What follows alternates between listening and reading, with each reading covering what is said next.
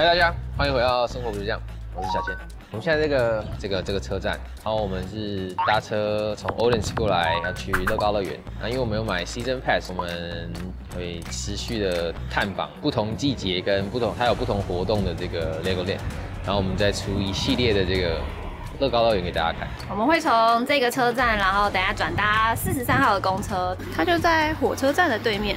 大概在三十五分钟左右就会它那个四十三号公车还会再停一下 Belong 机场，有些人可能也会搭飞机直接到 Belong 吧，因为它机场离乐高乐园可能剩下大概十分钟车程就很近。所以如果单纯想要去乐高乐园的人，可能蛮多人会直接从机场那边过去。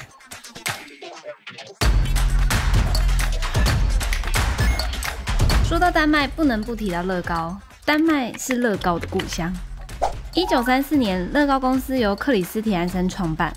Lego 源自于丹麦文的 Liget，意思就是玩得好。公司创立多年后，克里斯提安森意外发现了在拉丁语中还有 I put together 的含义，也更大程度的影响公司的发展，让 Lego 渐渐成为利用无数多个小单元拼组成各式各样商品跟建筑的玩具。一九六八年，Legoland 在克里斯提安森的故乡 Belong 开始营运啦。现在全球开放以及规划建造中的 Legoland 其实有十六个，但是丹麦的这个肯定是最古老的。乐高乐园冬季会休园个几个月，在春夏之际重新开放，中间还会有万圣节、圣诞节等活动。每个月的营业时间也都会有些变动。如果要安排到乐高乐园的人，记得要先到官网查询一下哦。基本上一张 one day ticket 是三百二十九到三百五十九丹麦克朗之间。线上预先买票会比较便宜哦。考量到我们预计会陪亲友前往多次，只要去三次以上就回本，所以我们就买了 season pass。从今年四月开园开始到年底都能够入园，总共是七百九十九丹麦克朗。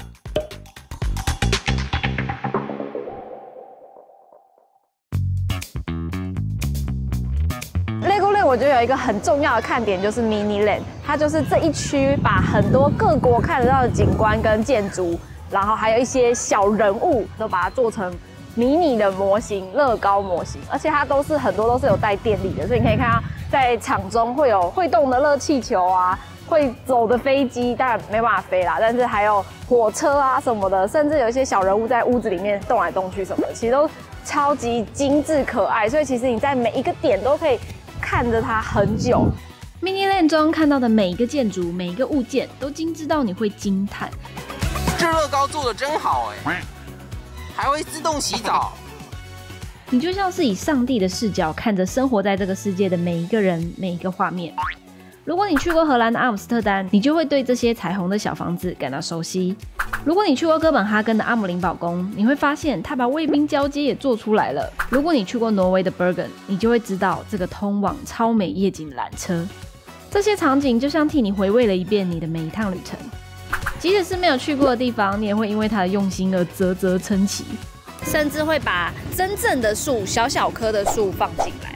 然后看起来就像迷你世界里面的大树，有点混合实境的感觉，可以想象这维护起来有多么不容易。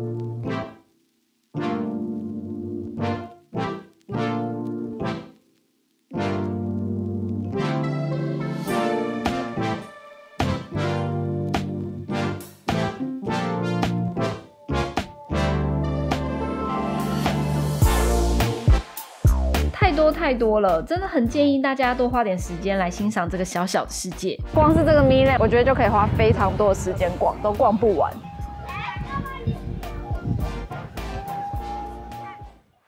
因为位于丹麦，Mini Land 中也比较少看到亚洲的建筑，所以能在这里看到一零一还是相当兴奋的。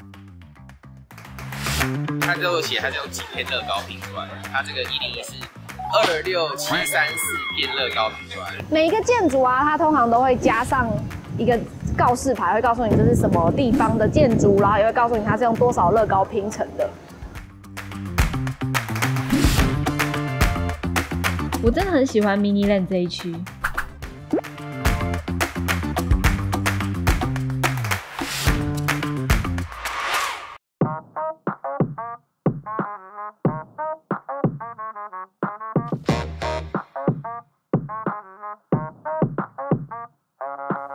毕竟是个游乐园，该有的营销飞车还是有。大多的游乐设施都会搭配乐高造景或主题故事，让你不只是刺激这么简单。像是 Dragon 就会在开始冲刺前，先让你看一些龙与城堡的故事。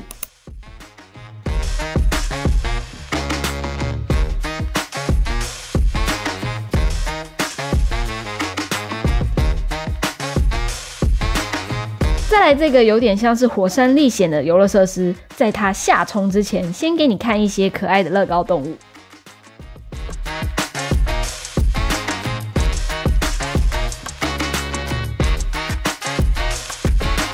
我自己私心很喜欢的 Mini Boat，则是像游园的方式，让你看到乐高做出的世界名胜古迹。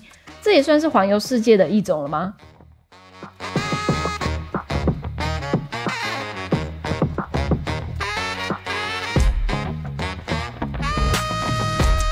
中也有一些互动性很强的亲子设施，像是海盗船。等到你们在里面湿透了之后啊，外面还有这个收费的烘干机。哦，好温暖哦！那个海盗船在船上都会潮湿，所以这个就是放在海盗船旁边。不过在这个下雨或者是天超冷的时候，进去暖一下，好像也是挺不赖的。互动性很强的还有这个消防车。好可爱哦！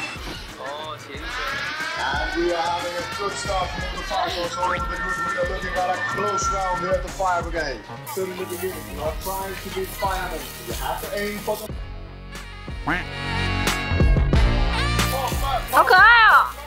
耶！赶快回去喽！好笑，这小朋友玩应该超开心的。如果是平日来的话，各大设施几乎都不用排队；假日或是有活动的时候，等候时间也都只要五分钟以内。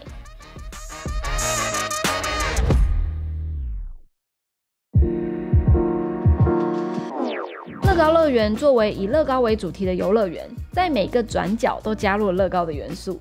你看到的每一个东西几乎都是乐高做的，让你光是在园区内走着也不无聊，会发现很多很可爱的小东西。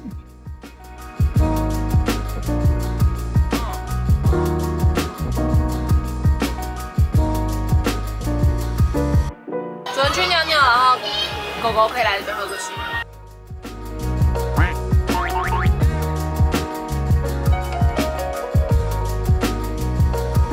如果走累了，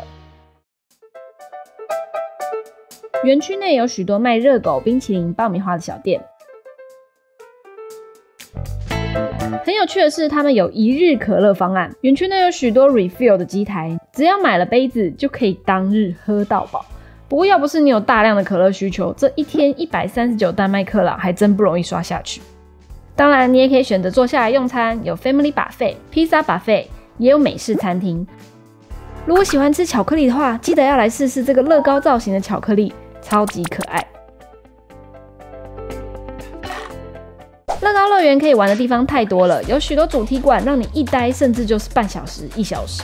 下一集我们会再继续分享乐高乐园的好玩之处。如果喜欢我们的影片，记得帮我们按赞、分享，并按下订阅的按钮，支持我们做出更多更好的影片。也别忘了追踪我们的 IG 跟 FB，更能看到我们的生活琐碎消息哦。那我们就下部影片见，拜拜。